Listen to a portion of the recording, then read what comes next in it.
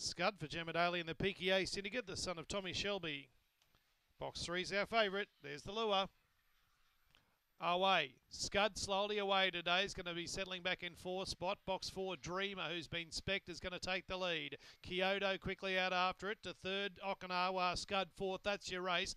They're clear then of Bago Sweetie, Eastleigh, Boom Bogey, Frank Flaming, Coppet. Towards the turn, Dreamer runs wide, but it's in front. Coming at it on the inside, Okinawa, but Dreamer. Dreamer beats, I think, Okinawa second, Kyoto third. Fourth, that'll probably go to Scud. Just